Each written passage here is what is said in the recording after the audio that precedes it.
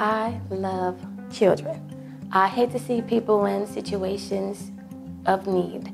So I just always wanted to make myself available to help.